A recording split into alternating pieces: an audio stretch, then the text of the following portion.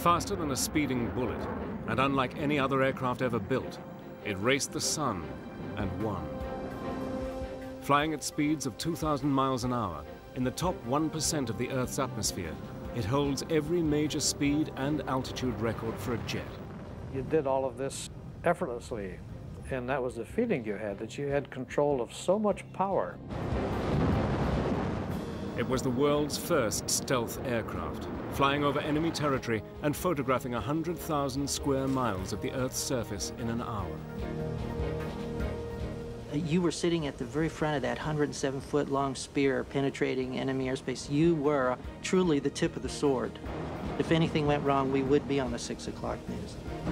Once shrouded in secrecy, Battle Stations now reveals, using archive film and color reenactments, the covert world of the SR-71 Blackbird.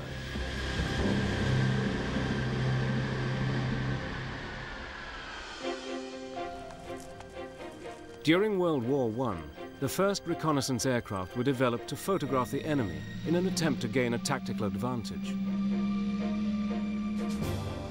World War II saw more sophisticated aircraft and camera technology that played a vital role in the Allied victory.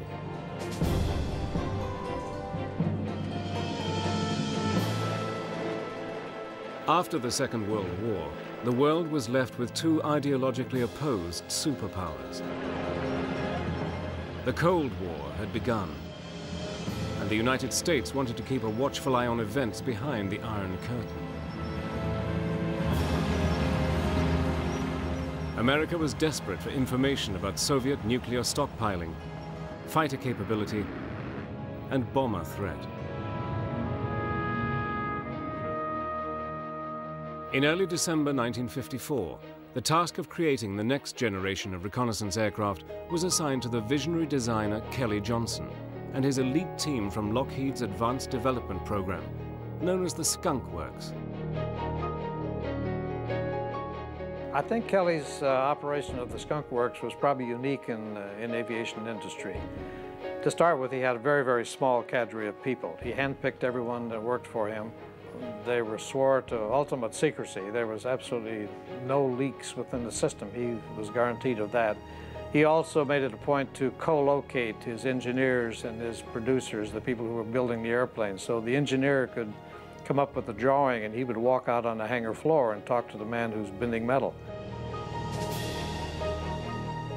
Can't stress enough the engineers directly with the shop people all the time.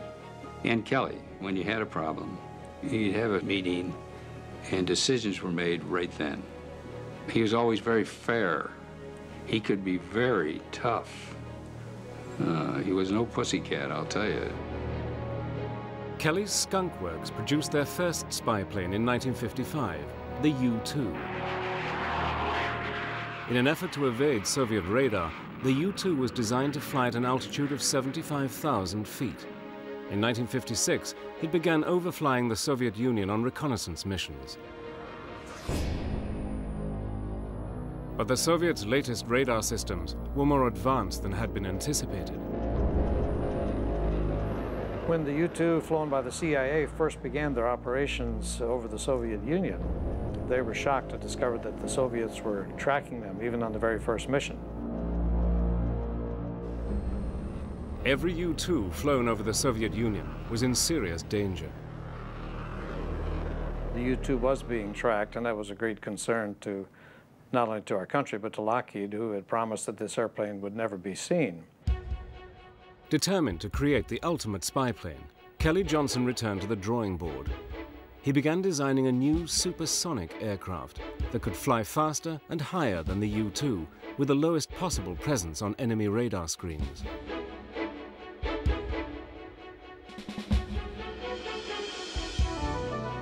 Then, on the 1st of May 1960, disaster struck. A U-2 flown by Francis Gary Powers was shot down by an SA-2 missile.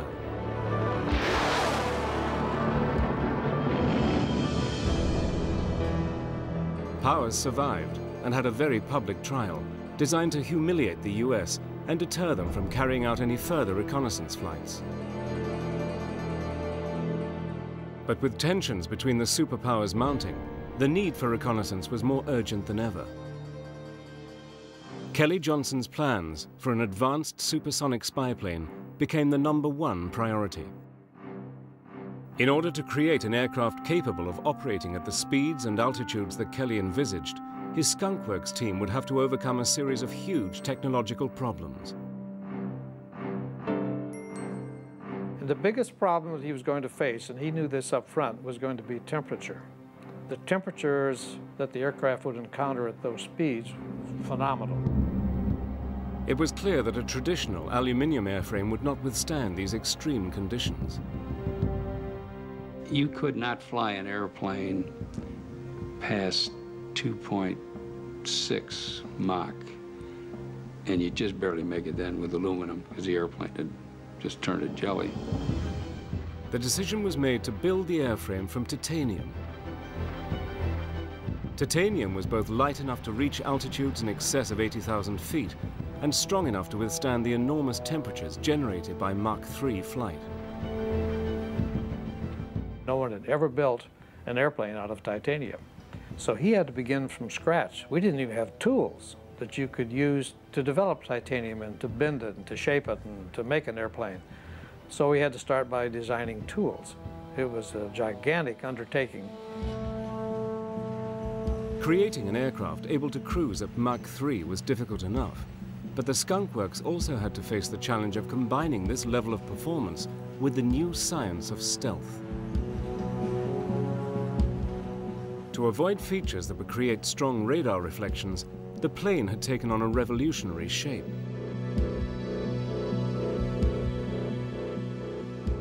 The wings were blended into the body, and the long surfaces on the forward fuselage, known as chines, were designed to deflect incoming radar waves.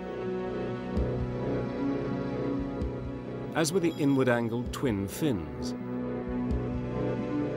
the pointed engine cones, and the nearly flat lower fuselage. Also, a special radar-absorbent plastic, or composite, was developed to be incorporated into all the leading edges.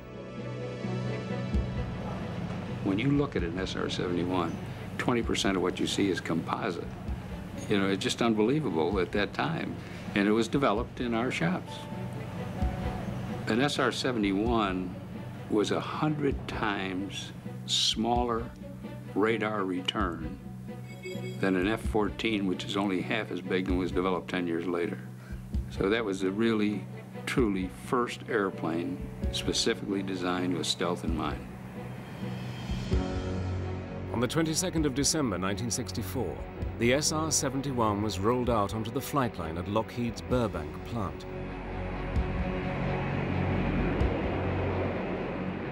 Coated in black, radar-absorbent ferrite paint, the Blackbird, as it became known, was an extraordinarily futuristic-looking machine. Lockheed test pilot Robert Gilliland would be the first in the cockpit. When we got going, as a matter of fact, um, for the actual first flight, it had 383 open items. Uh, these are things that are supposed to be working that aren't working. So it, it was a bare bones type of operation for the first flight. And you might say uh, these kind of things could be dangerous, but there are plenty of other people that would like to have been in my position, I assure you of that. The exhilaration when we made the first engine run and they had those afterburners going in there and that thing is straining against those cables and I just felt, boy, this is really going to be something.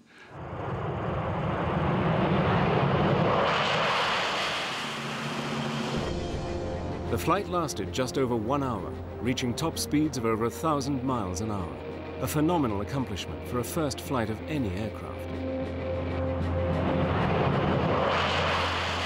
Kelly Johnson was there and some of his guests were there, and I don't remember who all else was there, but the whole kit and caboodle were very happy, including me. It seemed that Kelly had created his ultimate spy plane. But would it be able to evade radar and fly high enough and fast enough to escape the Soviet fighters and missiles?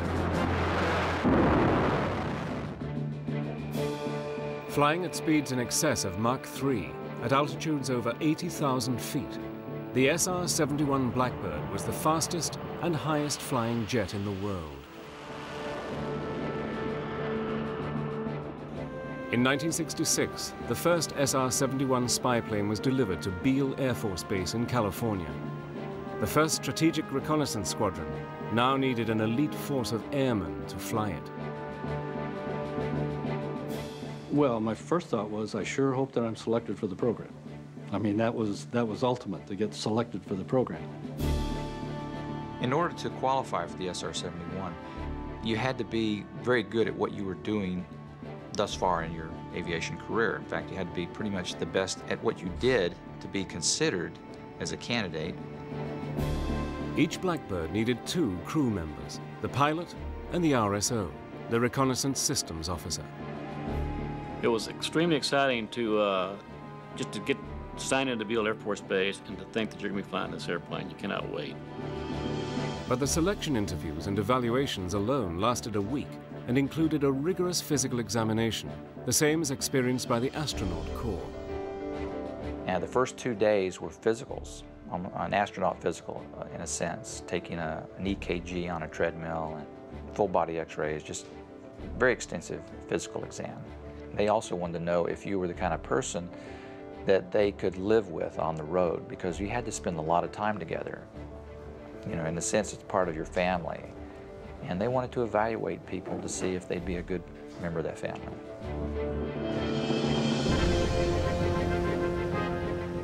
The pilot began his actual training with long hours in T-38s and in the SR-71 simulator.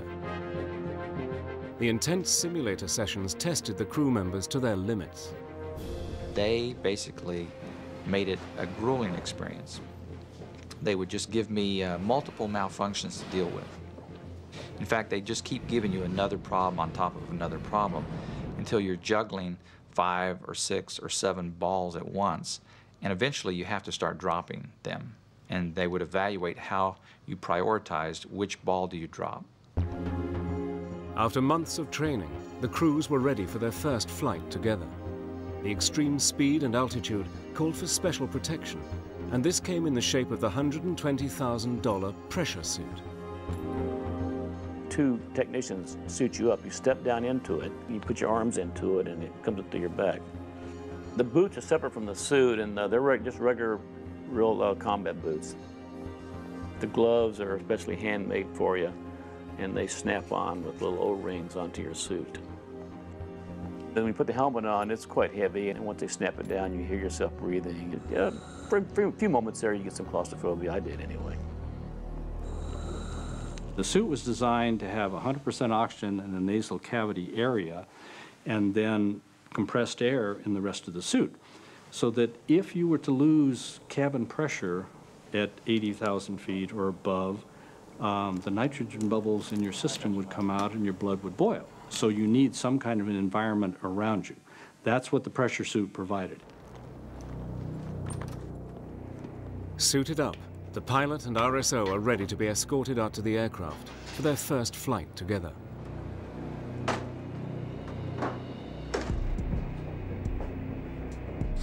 There are three people that do nothing but strap you into the cockpit and unlike a lot of aircraft, this cockpit is down sort of in the bowels of the aircraft. You're, you get placed down inside the cockpit and strapped in.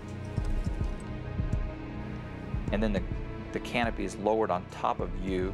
You don't even lower it yourself. Someone has to do that for you and lock it down.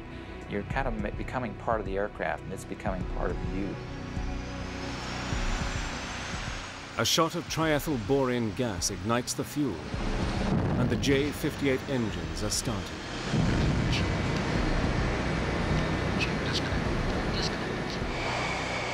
Where it really got impressive is when it starts taxiing out of the hangar. And it's 110 feet long, and so this thing keeps coming out, keeps coming out, keeps coming out, and all of a sudden you realize that's an awesome looking airplane as it gradually comes out of the hangar. So here we were looking at an airplane that was going to be going 2,000 miles an hour, and its design was so futuristic.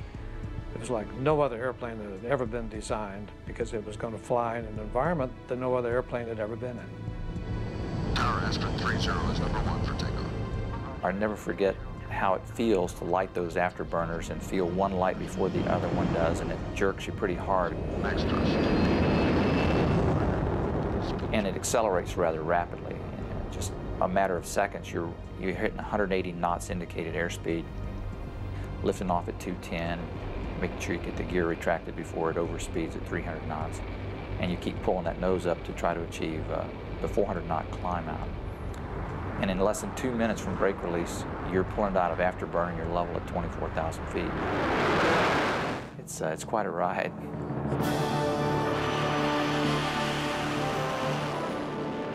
I remember the first time I took the aircraft up to speed and, and to altitude, I went through Mach 1, and then I approached Mach 2, and it went through Mach 2 without the slightest uh, indication of any problems, and I marveled at that.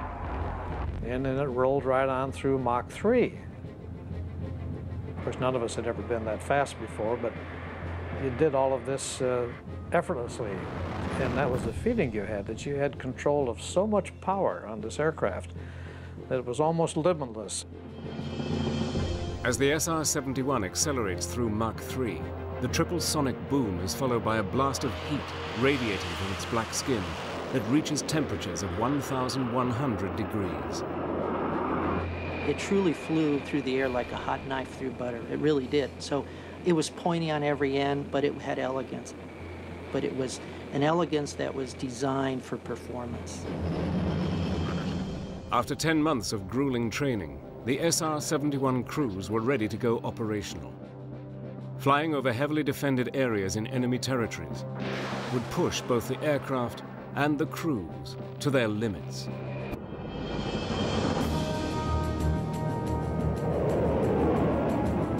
On March the 21st, 1968, the first SR-71 operational sortie was flown out of Kadena Air Force Base, Okinawa, Japan.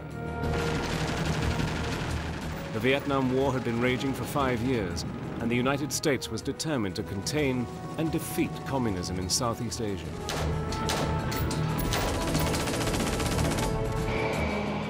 The role of the SR-71 would be to gather photographic and electronic intelligence of their enemies. They would fly daily over territories where one mistake could cost the lives of the crew and provoke an international incident. In this program, the, the margin for error was so narrow, almost to nothing, that it really was the pressure of flying the mission flawlessly. So that because if anything went wrong, we would be on the 6 o'clock news. SR-71 missions were always carefully planned. In their briefing, the crews thoroughly study the mission route and surveillance areas and are warned of potential enemy threats. Well, we try to stay well informed about our adversaries' capabilities, about uh, their, their ability to track our movement, our aircraft, any potential surface-to-air missiles that might be a, a threat to us, or any aircraft that might be a threat to us during a flight. Three hours before the mission, they have a medical checkup and eat a high-protein meal of steak and eggs. The crew chief and his staff spend hours inspecting the SR-71 for any possible mechanical problems. Pre-flight on the aircraft starts around midnight. We're saying for a 6 or 7 o'clock launch in the morning. And uh, there's a lot of procedures that you go through. Cameras have to be uploaded. The bays are in the forward section of the chines, and then the cameras was electrically lifted up into it. We always loaded a light load of fuel for the mere fact that it's a lot easier on the airframe, it's a lot easier on the tires, the landing gear, and so forth like that. There was always excitement in the air, electrifying. Every time you fly the airplane, it was, everybody was keyed up. Everybody did their job and did it extremely well and took it very, very seriously. Everybody worked together, and it was a team effort. And uh, everybody knew that they was uh, striving for that one thing, and it was perfection. The uh, SR-71 demanded it because uh, there was no room for error. When you get ready to launch the airplane there, things are happening so fast that uh, you send the airplane off, and of course you're going to be concerned about whether or not it's going to come back. You're constantly thinking whether everything is correct or not, and, and those questions kind of creep into your mind.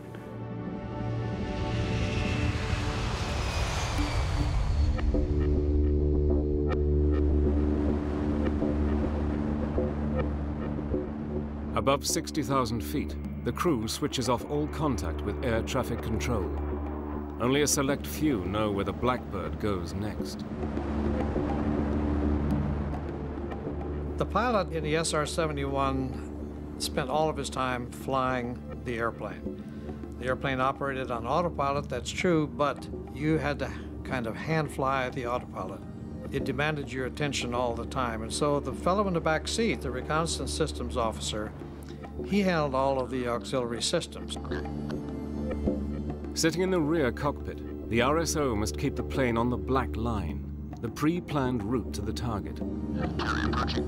As they reach enemy territory, he concentrates on the radar and defensive systems, trying to jam enemy communications in the event of a missile launch. We carried the same type of jammer that was used throughout the Vietnam War by uh, all of the fighters and bombers, which attempted to jam the communication between the radar site and the missile itself. Once they began the communication, our indications in the cockpit would go from warning to jamming, and it would be jamming that communication link to the missile. But sometimes the enemy would try to attack the SR-71 by launching a missile without any radar guidance. We were coming in off the water, headed inland, and the pilot says, hey Reg, look out your right window. And here is what looks like a telephone pole about 150 yards away that's going just straight up. He said, was that close enough? And I said, yeah, that was close enough. Our main defense, if we were fired upon, was increased speed. And we could increase 100 knots, 200 knots in just a matter of seconds, which is a lot of differential in speed for a missile to uh, cope with.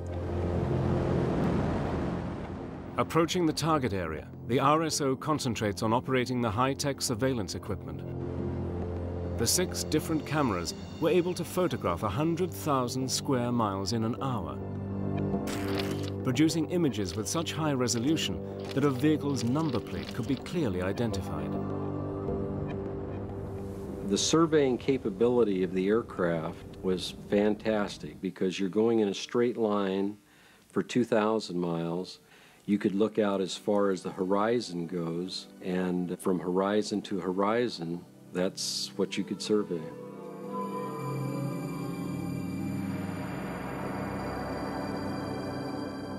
For the crews flying in the top 1% of the atmosphere, it gave them a unique perspective on the world.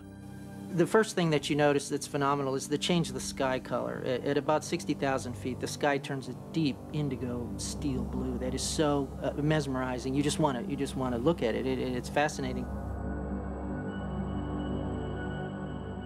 You know, if I flew the aircraft up near the Arctic Circle, and I might actually traverse dawn to dusk and back two or three times. I've seen the sun rise and set three times on a flight, which is very unusual. I mean, we're actually flying faster than the Earth's rotation, so we're outrunning the sun.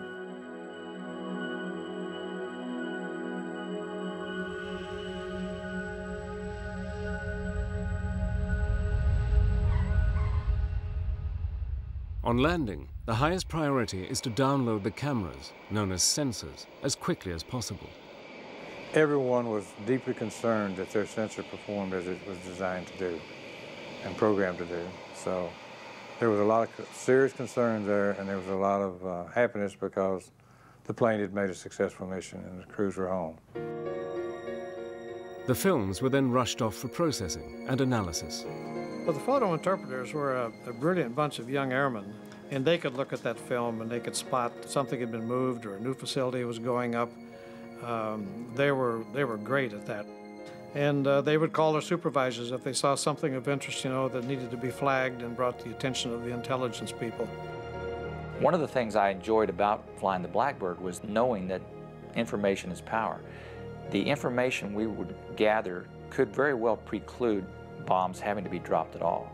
It could save a lot of people's lives by having the right information at the right time.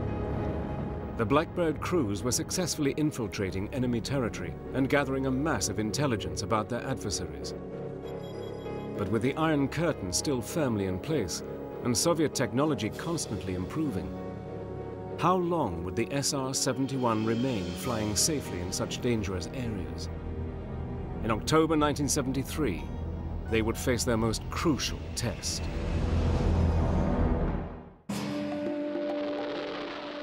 In the early 1970s, the world's attention focused on the Middle East. Tension between America's ally Israel and her Arab neighbors was reaching breaking point. On the 6th of October 1973, Soviet-backed Egypt and Syria attacked Israel and made dramatic territorial gains.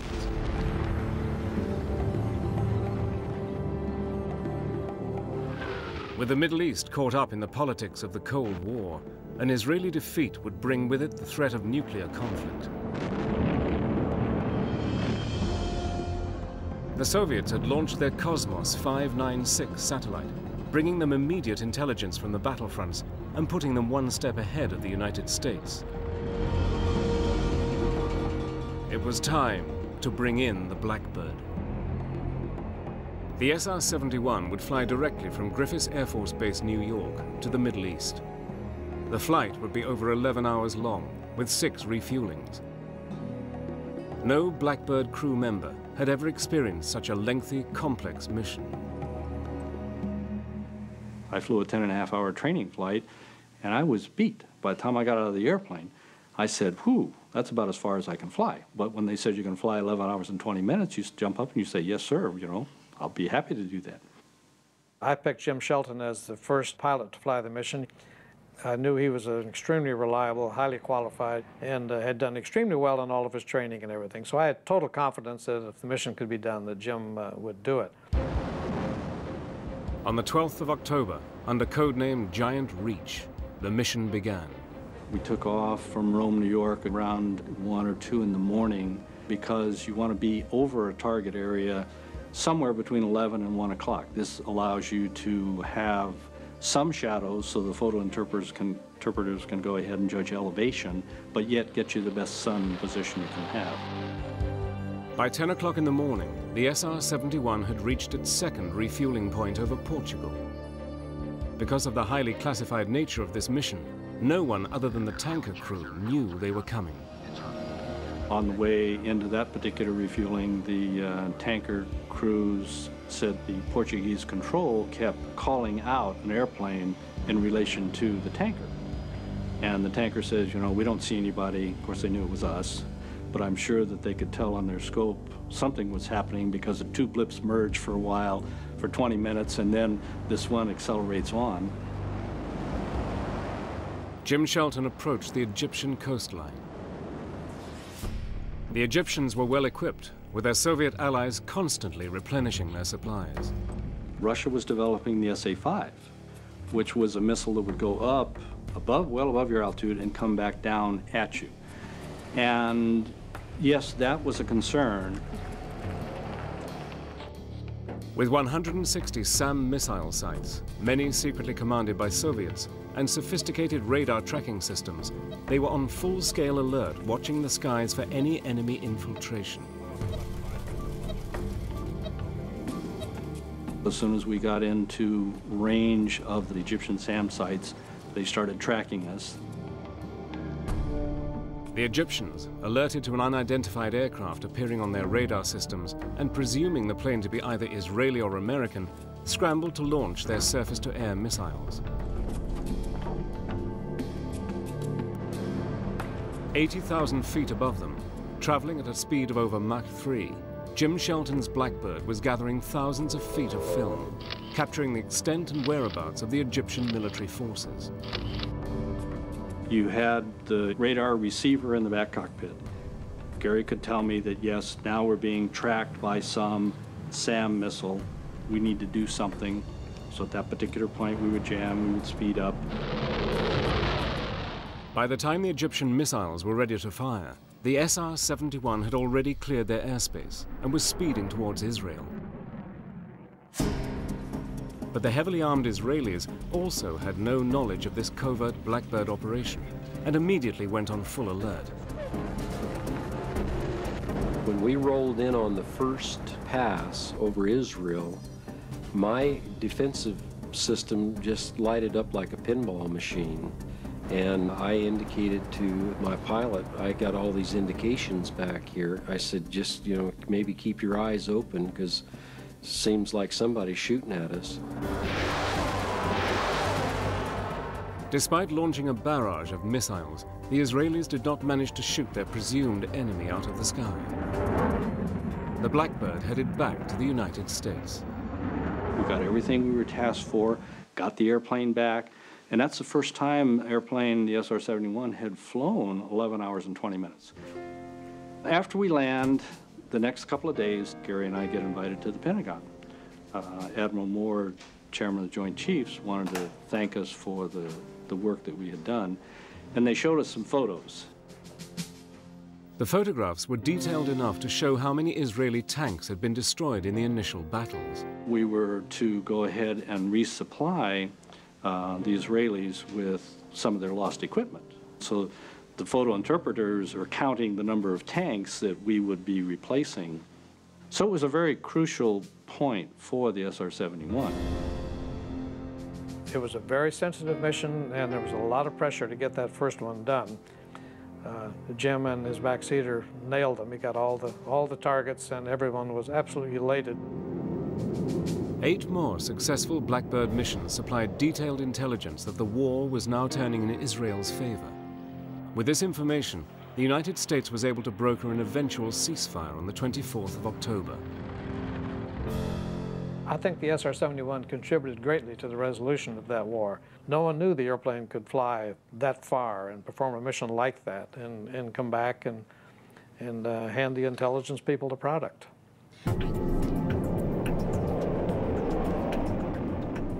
The Blackbird was also a record breaker. On September the 13th, 1974, Kelly Johnson's SR-71 flew across seven time zones from London to Los Angeles in a race with the sun, taking just 3 hours, 47 minutes, and 39 seconds. For the record-breaking flight, uh, I was over at the FAA Control Center, and uh, the controller a huge screen, and he said, here's a 747 coming out of Phoenix. And it'd go blip. Blip. It moved about half inch or quarter inch. He said, okay, get ready. Here comes the SR-71 out of uh, Canada. And it goes, and there goes uh, my antenna, there goes Idaho. and, and get ready, boom! And uh, it almost blew us out of way because he was right overhead. And uh, he, could, he was starting to decel, but he managed to blow the windows out of Zsa Gabor's house in the Hollywood Hills. In the same year, the Blackbird had flown a record-breaking flight from New York to London. 52 years earlier, Charles Lindbergh had flown approximately the same distance in 33 hours. The SR-71 made the flight in 1 hour, 55 minutes, and 42 seconds. But the SR-71 would soon be needed in a more serious capacity. Another Soviet-backed Middle Eastern enemy was on the warpath and was determined to humiliate the United States. There would be no better way than to shoot the SR-71 out of the sky.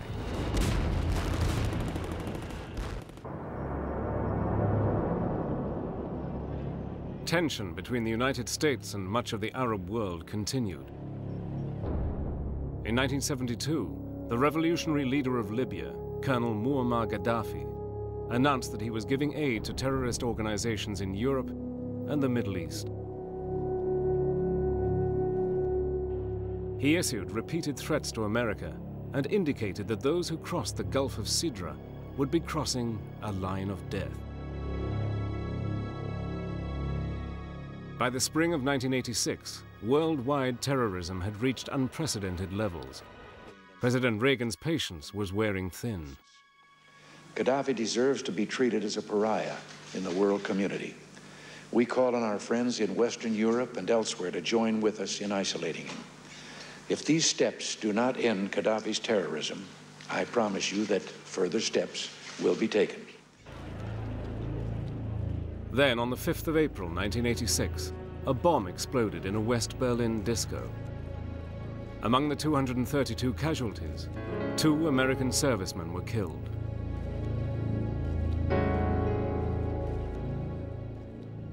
The United States found clear evidence that Libyan leader Colonel Gaddafi was behind the attack.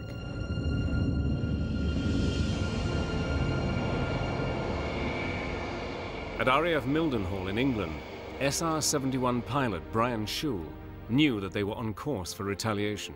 Now we knew that something was going on because all of a sudden the Mildenhall base had a, an extra security uh, arm of guards around it. Our BOQ living quarters had armed guards uh, at the doors. The next thing you knew, every tanker in the Air Force practically was landing at Mildenhall. There were new airplanes on the ramp that you hadn't seen before. And it was no secret to every Brit aircraft spotter out there that there was something going on. The British government would allow the United States to fly the missions from their bases in England.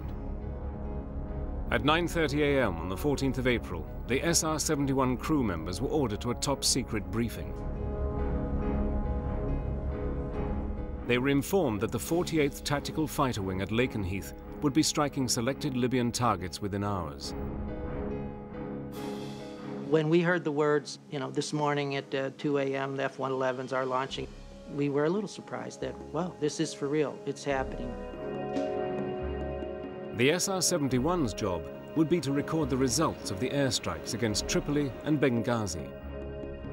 That night, the F-111s began their mission. So when we're trying to sleep, in the middle of the night, you're awakened by the roar of F-111s taking off.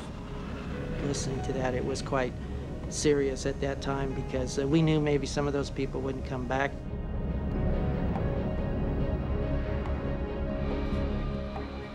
By the time the SR-71 crews arrived to prepare for their mission, the F-111s were already bombing Libya. My fellow Americans, at 7 o'clock this evening, Eastern Time, air and naval forces of the United States launched a series of strikes against the headquarters, terrorist facilities, and military assets that support Muammar Gaddafi's subversive activities. Today, we have done what we had to do. If necessary, we shall do it again. The 111s had a number of targets to take out uh, missile defenses, sites, and things, but also all the uh, terrorist training camps, and to really hit Gaddafi's headquarters, basically, uh, to really show him that we're going to come right into his backyard. Our job was to come and assess everything that was done, uh, gather uh, pictures and, and target data for maybe succeeding strikes. Flying in directly after a bombing raid, the crews could expect Libya's sophisticated air defense network to be on full alert and eager to retaliate.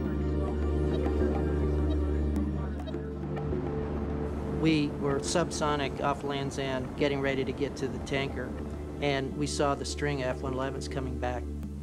And my backseater, Walter, was counting the planes as they came back and passed us, and uh, he came up one short and he knew that somebody had not made it home. And it was we were, we were very sad in the cockpit at that time before we even started that we had lost an entire crew.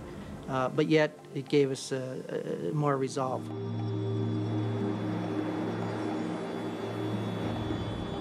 After refueling and now traveling at supersonic speeds, they neared the Gulf of Sidra and the Libyan target area. We're doing over 2,000 miles an hour at this point, and um, we were we were like a speeding bullet except faster and uh, we had crossed the line of death with impunity but the Libyans, equipped with the latest Soviet long-range high-altitude missiles, posed the greatest threat yet to the Blackbird. It was at that time that Walter started picking up some missile signals. He got two indications and then actually got a launch indication. And we had a big decision to make where we were, we were running into the target area before we made the turn. Do we continue to that point where Gaddafi's headquarters were, or do we make a turn away now to, to save ourselves from the missiles?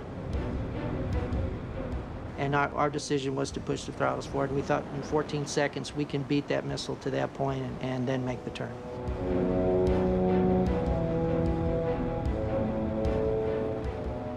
Made the turn, uh, went feet wet, got to the coast, and, and I will tell you, uh, that was probably the fastest I've ever seen the SR-71 fly. They'd outrun the missile, gathered the photographic intelligence, and were now heading away from the danger zone. Walt said, okay, you can, you can pull it back now. My hand was still locked in the forward position there. Uh, we were seeing Mach numbers that were a little scary, that we had not seen before, and the jet did it effortlessly. The intelligence photos that were brought back clearly showed that the bombing mission had been a success. It was decided there would be no need to risk more American airmen's lives over Libya with further bombing.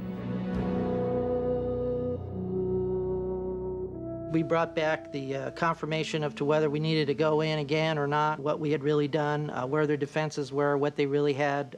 But we made a statement to Gaddafi, and if you'll notice, you remember, you didn't hear a lot from him for a long time after that. But despite the success of the SR-71s over Libya, its days were numbered. At the end of the 1980s, it was decided that the cost of operating the SR-71 was no longer sustainable. The Blackbird program was terminated. From now on, all American surveillance would be carried out by satellites. The reason that was given was that it was too expensive. Well, it's reconnaissance. That's, that's sometimes that can be very expensive. And if, if you don't have reconnaissance, uh, you're pretty blinded. And now they like to say that the satellites can do it all. And satellites can do a great deal, and they're magnificent uh, uh, capabilities. But there are things they can't do, and there are things that are unique that only the SR-71 can do. On December the 20th, 1989, the SR-71 made a final pass down the runway at Lockheed's Burbank plant in honor of all those who worked on this exceptional plane. Kelly Johnson was there to pay an emotional farewell to his favorite creation. You can't say enough about Kelly Johnson himself. You know, he was a he was an absolute aeronautical genius. Working for Lockheed, uh, I, I think he's made the greatest aircraft that ever existed. There's just something about the sleek SR-71 that uh, makes it in a class of one. There is no other. Impressive to the last, the Blackbird set four international speed records while being delivered to the Smithsonian National Air and Space Museum. People love a winner. They love when someone is the best in their field. This aircraft was the best in its field. It was the prime speed machine of the world. Every speed and altitude record that it set, it holds to this day. The SR-71 Blackbird served six different presidents and saw action on hot and cold war fronts alike. And despite being shot at over 4,000 times, no aircraft was ever lost to enemy fire. It is the only operational airplane in the history of the American Air Force in which no Air Force crew members were ever killed. That's a record that no other airplane has. And when you consider the environment in which it flew, the speed, the altitude, the temperatures, that's a real credit to Kelly Johnson.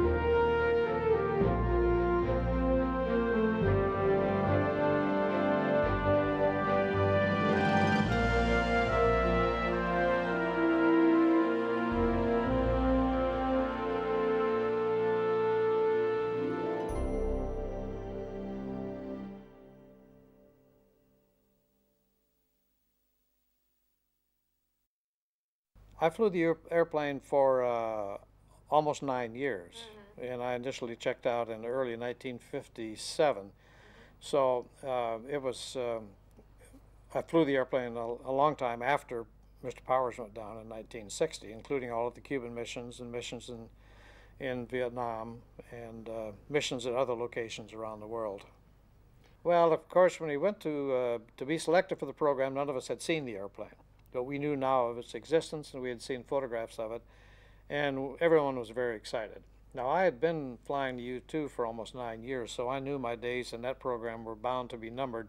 And usually what happens when you leave a program like that, you go to a headquarters in a staff position and you get to fly a desk for several years.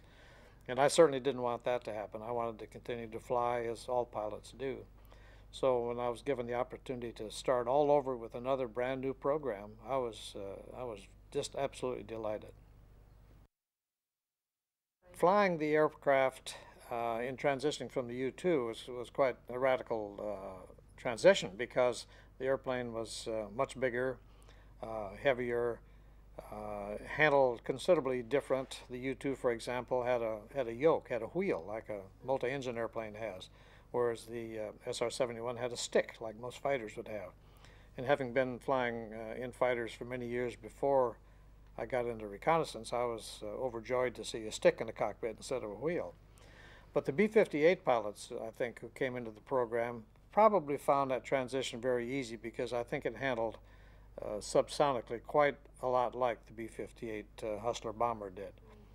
Now, when you transitioned uh, to supersonic performance, then the aircraft uh, became very demanding on the pilot and the uh, backseater RSO, Reconnaissance Systems Officer. Uh, it demanded all of your attention all the time. You didn't dare spend much time looking at the scenery or, or watching uh, the world go by. You had to be flying that airplane every second of the time.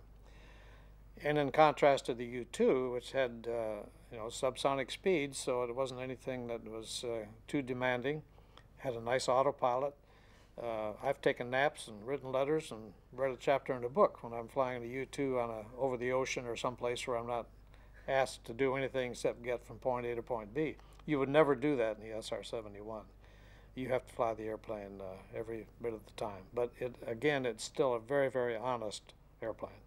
I don't think anyone uh, who flew the airplane had any reservations about uh, the nature of the mission or what we were doing with the mission, where we were flying, what our uh, what our uh, mission objective was, what we were trying to collect whether it was electronic intelligence or whether it was uh, photo or radar, we had all those systems on board the airplane, and, and so we had multiple uh, targets that we were looking for. And some of them involved overflights, and some of them involved peripheral work. And I don't think anyone uh, was really concerned about uh, um, that aspect of the mission at all. In fact, it used to be rather enjoyable when MiGs would uh, be launched to intercept the SR-71 because they delighted in trying to do that. They would love to have been able to shoot down an SR-71. Of course, they never could. Um, but you could see contrails of the MiGs when they were scrambling and, and coming up, and it was it was kind of like uh, tweaking the lion's tail. You know, you could just uh, ignore them and watch them fall out of the sky and and uh, just press on with the mission. So in that sense, it was a little bit of entertainment for us. Flying the aircraft at Mach 3 was uh, almost disappointing because there was no particular sensation of speed. You were too far above everything to get a sensation of speed. The most impressive thing going on would be watching the instruments and seeing what a, an amazing Mach number you would just uh, pass through. I remember the first time I took the aircraft up to speed and, and to altitude. I had been supersonic before in a number of airplanes, but all of a sudden in this aircraft I went through Mach 1 and then I approached Mach 2 and it went through Mach 2 without the slightest uh, indication of any problems and I marveled at that. And then it rolled right on through Mach 3. And uh, of course, none of us had ever been that fast before, but um, depending upon the airplane that particular day, if it was a nice day and the airplane was nice to you, why, you did all of this uh, effortlessly. And that was the feeling you had, that you had control of so much power on this aircraft it was almost limitless. And when you got to the desired speed and altitude, you actually had to throttle back. And you'd be cruising at 2,000 miles an hour with the throttle uh, uh, way back from its normal full power climb performance. So the, the, uh, impression you had is that you just had a vehicle with unlimited power and speed potential.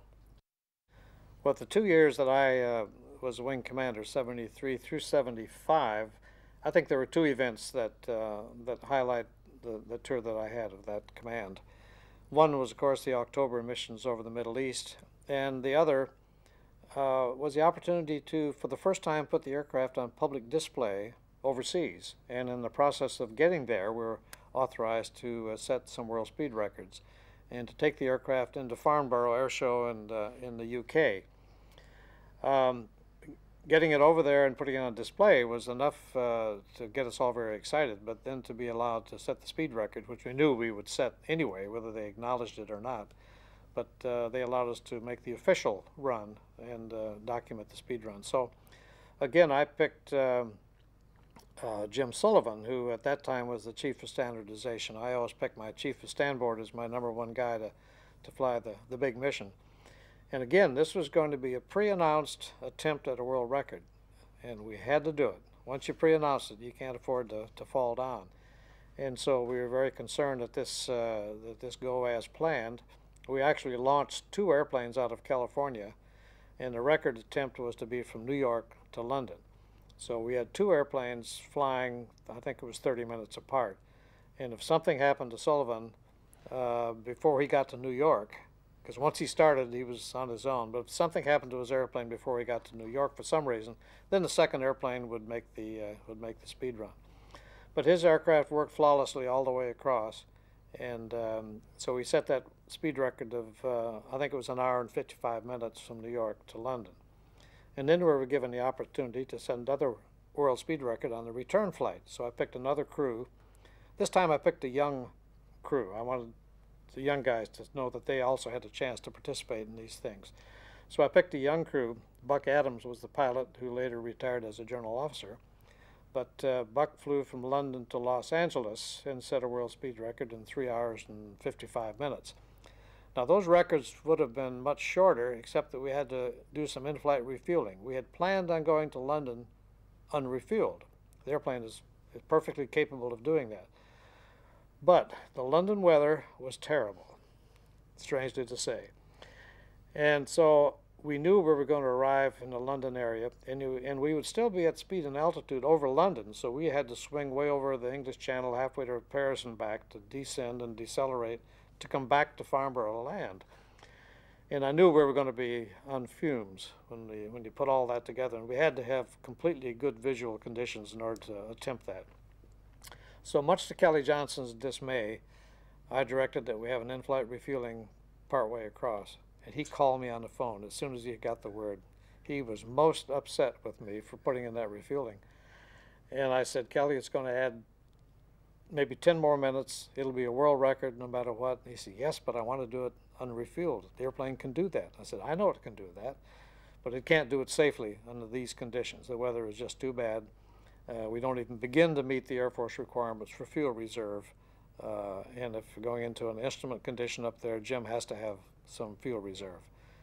So he finally allowed us out that he'd let me do that, but he was very unhappy. But he was there when the airplane landed, as I was. We were all in London at Farnborough waiting for the airplane.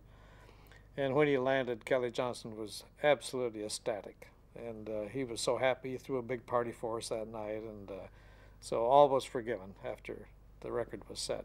And what was it set at? It was an hour 55 minutes from New York to London. Yeah, that was pretty good. The previous record was something like uh, four or five hours, owned by a British uh, pilot, military pilot.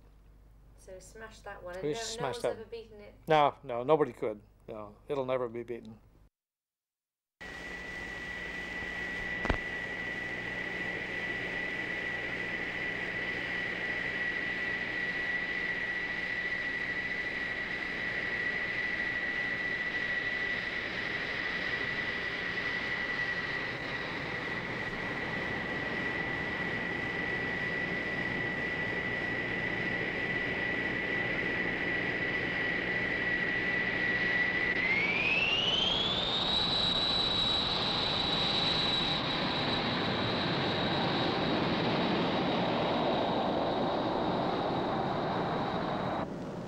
a United States Air Force Strategic Air Command weapon system.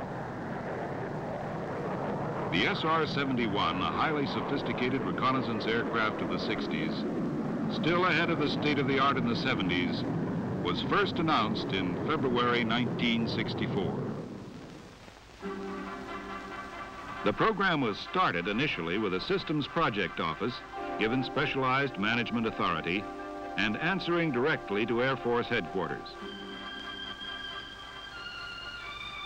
As the program progressed, the Specialized Management Authority was transferred to the present Advanced Systems Program Office with complete administrative, engineering, and logistics responsibility. A pattern now accepted for several key Department of Defense programs.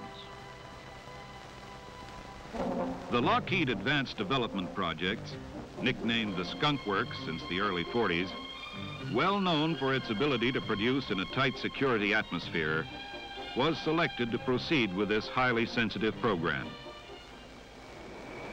A global reconnaissance system that would sustain altitudes above 80,000 feet at speeds beyond 2,000 miles per hour. With the experience gained on the YF-12 interceptor program, the task of producing the SR-71 was underway.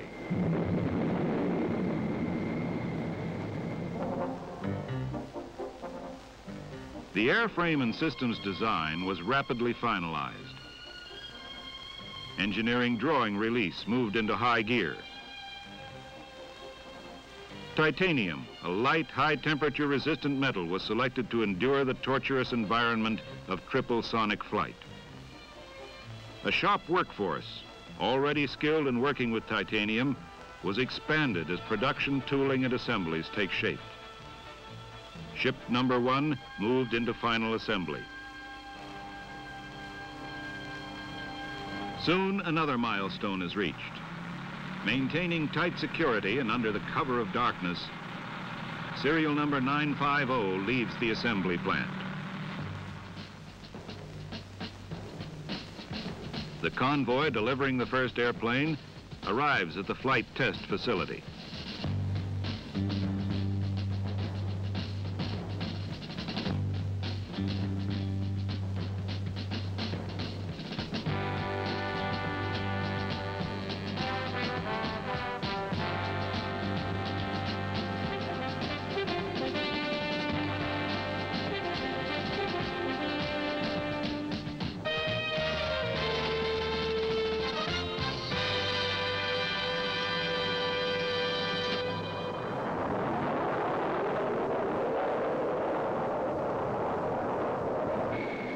This new member of the family of Blackbirds made its debut just 22 months after go-ahead. Production aircraft scheduled for evaluation soon arrived at Edwards Flight Test Center. Almost concurrently, Lockheed and Air Force flight test efforts proved the airplane and systems. Meanwhile, facilities at Beale Air Force Base in Northern California were being readied to receive SAC's new Mach 3 Plus aircraft. A new team was being formed. Members were arriving on base daily. The Lockheed ADP Field Engineering Support Group, formed early in the test program, arrived at the operational base. Consisting of a small group of engineers, logistics, and systems personnel. Equipped with fast response procedures, they brought the manufacturer's entire support as close as the commanding officer's telephone. The Physiological Support Division was busy processing flight crews selected from the many highly qualified volunteers from throughout the Air Force. Personnel were scheduled into training. Animated aids familiarized students with the internal workings of the engine and system components. Functional aids utilizing actual airplane parts are used to develop operational and maintenance skills.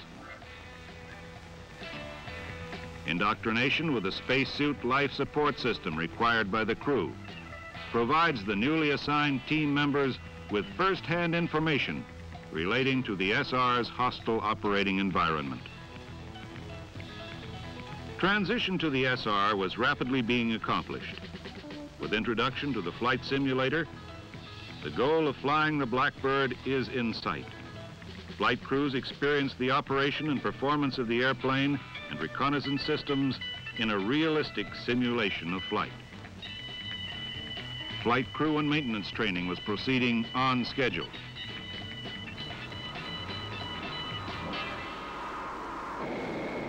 The all-important day is here. An anxiously awaited member of the team arrives on base. This first Blackbird received by the 9th Strategic Reconnaissance Wing was an SR-71B, a trainer. Enthusiastic team members are on hand to congratulate the commander and welcome the star performer.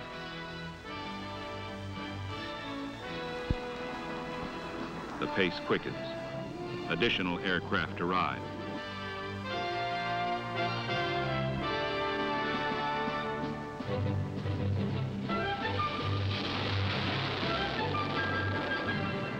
The new birds are on a busy flying schedule. Crews are eager to take to the skies.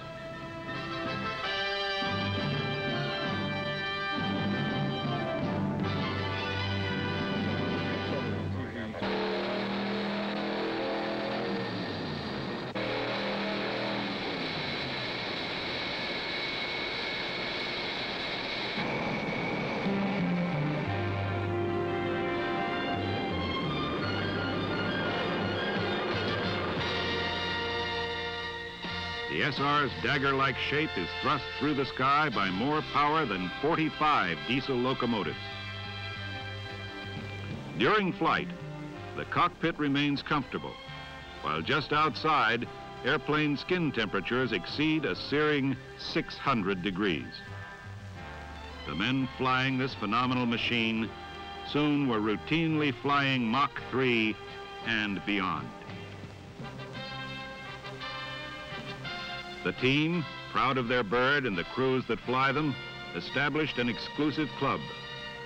At an impressive ceremony, each crew member is awarded a Mach 3 Plus pin and certificate, honoring his first flight at 2,000 miles per hour.